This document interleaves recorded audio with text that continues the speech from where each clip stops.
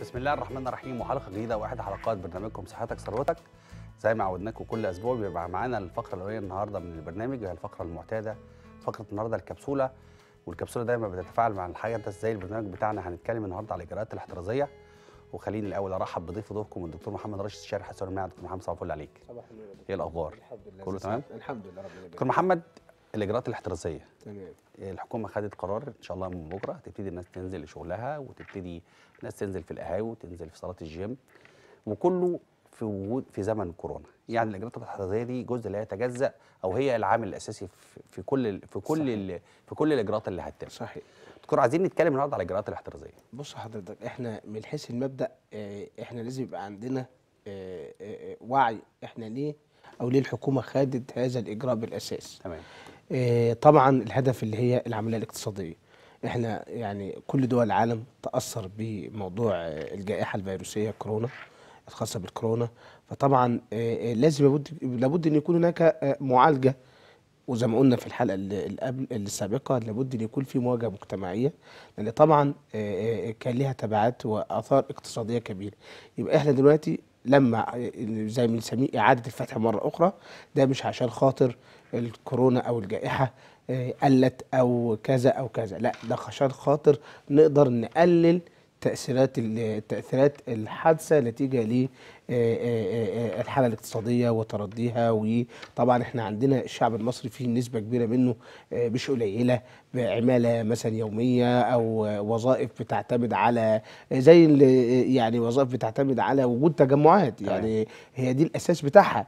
فطبعا إحنا لازم إحنا فاهمين إن ده دي اللي نقدر نواجهه الركود الاقتصادي أو الحالة الاقتصادية مش عشان إن الوضع بدأ يقل تمام. ولازم فاحنا فإحنا حتى اللي هينزل أو اللي هيبدأ يتعامل لابد إن هو برضك بنقول لو يقدر يقعد في البيت يقعد تمام. يعني إحنا رغم الفتح بنقول برضك لو يقدر يقعد في البيت يقعد مفيش مشكلة طب إذا النهارده لا إحنا بقى بقالنا فترة بقالنا حوالي ما يقرب من ثلاث أشهر في هذا في خضم هذه الأحداث وعايزين نغير لما تيجي تنزل سواء كان الجوامع أو إذا كان ال- المساجد أو الكافيهات أو أو صالات الجيم. أو صالات الجيم أو المطاعم لازم أهم حاجة أهم حاجة في دولت هي التباعد الاجتماعي. لابد أن يكون هناك أضمن أن هناك تباعد اجتماعي لا يقل عن متر على يعني الأقل. اذا أول إجراء احترازي نقول التباعد ده الاجتماعي أهم إجراء. ده أهم إجراء أهم من الكمامة وأهم من التطهير الإيد وأهم من الكلام ده كله إن هو التباعد الاجتماعي. تمام. ليه؟ لأن إحنا عندنا نسبة بتبقى نسبة ودي حاجة معترف بها عالميا أن هناك نسبة آه، من البشر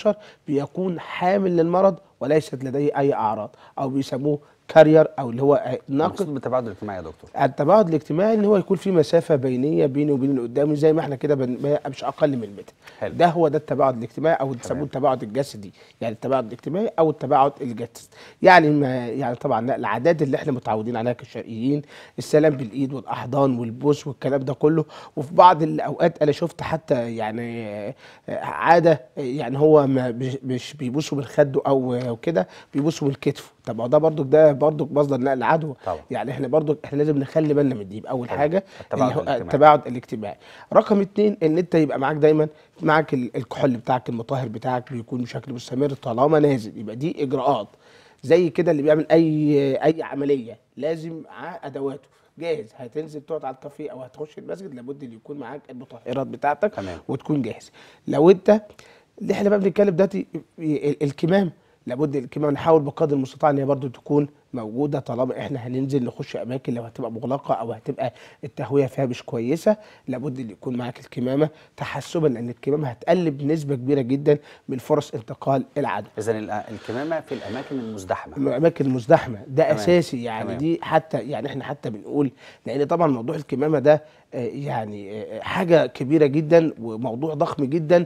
آه، برضك آه، لسه لسه إلى الآن في حوار وفي ديبيت فيه إن هو هل هو فعال أو مش فعال. أو أو لكن إحنا بنقول إيه الحد ناخد؟ بالأحوط ناخد بالأحوط ناخد. بالأحوط على الأقل في الأماكن المزدحمة المواصلات العامة لابد لازم يعني لابد إن الكمامه تكون موجودة ولازم أبقى أنا حريص دايما ما لمسش أي أسطح بقدر المستطاع ولو حصل أنا لمست نتيجة للاحتكاك أو نتيجة إن أنا محتاج أمسك أو أسند أو أعمل يبقى معايا المطهر بتاعي في ساعتها إن أنا أستخدمه آه، بأسرع ما يكون تمام. طيب أنا دلوقتي لو حتى لو نزلت مثلا المسجد طبعا المسجد يفضل طبعا إحنا ما نخشش أماكن ال- الوضوء مش لحاجة لأن إحنا برضو دي أماكن مغلقة ما نعرفش إيه اللي ممكن يحصل جوه تمام. يبقى في مصدر لعدوى أو كلام من ده طبعا ما فيش مشكلة تبقى نازل متوضى من بيتك تبقى. نازل متوضي من بيتك جاهز جدا تبقى أنت حضرتك وأنت طبعا تتابع في مسافة البينيه بينك وبين المصلي اللي جنبك.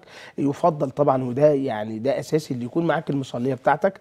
المصلية بتاعتك لازم تنزل يعني مش يفضل ده لازم يبقى معاك المصلية بتاعتك. تمام. لأن طبعا تكرار الصلاه في نفس المكان ده مصدر من مصادر نقل نقل نقل العدوى. ده بالنسبة الخاص بال طبعا ولابد إن طبعا جزء خاص يعتمد على المساجد. المساجد لابد إن هي تجهز تبقى في مطهرات موجودة في قلب المساجد. تمام. يعني ال- ال- الكحول وطبعا طبعا قبل وبعد الصلاة يبقى في تطهير في قلب في قلب المكان تمام. عشان نقلل ال ال الازدحام نحاول بقدر المستطاع إن هو يبقى فيه مسافات يعني المساجد اللي هي آه، آه، الناس اللي طبعا اللي سن كبير سن كبير طبعا دول بيبقى أكثر عرضة للإصابة بالأمراض فلازم نحاول نقلل وحتى وإحنا بنصلي لازم يبقى موجود مسافة أعتقد متر متر ونص. طبعا طبعا. تمام. طب لازم يكون في هذه المسافة.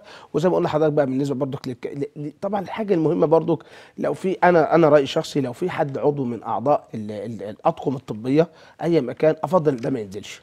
يعني أفضل ده يعني برضك ي- يعني ده رقم واحد. دي نقطة مهمة جدا. آه ده رقم واحد آه، آه، ما يعني لأنه طبعا معرض إنه يبقى حامل الفيروس. حامل الفيروس حتى لو ما فيش أي أعراض اللي هم خلال 14 يوم. فنفضل إن هو آه، يعني كنوع من أنواع يعني آه، المساعدة والمشاركة إن حد من الأطقم الطبية بلاش يبقى آه، آه، يعني أقل في أقل الحدود إن هو يبقى موجود لأن طبعا هو ممكن يكون حامل زي ما حضرتك بتقول وما ويبقى فرصة نقل العدوى طبعا لناس تانية بتبقى أقل وتبقى أكبر. وبعدين حضرتك برضو إحنا عندنا في المجتمع زي الكافيهات أو القهاوي أو أو أو بيبقى طبعا كل الناس موجودة وكل الأعمار موجودة فطبعا بي- بيختلفوا في الجهاز المناعي بتاعهم الحس ال- القدرة على إن هو لو جات له عدوى أو جات له نقل فيروسي ويبدأ آه، ينشط عنده الفيروس ويعمل عنده مشكلات الكبسولة النهارده to the point. to the point صحيح. في الهدف. وإحنا بنتمنى طبعا آه، آه، آه، السلامة. طبعا الكلام ده بيتكرر في كل التجمعات الموجودة. تبقى عادة. عادة. وتبقى عادة في سلوك في حياتنا بعد كده إن شاء الله.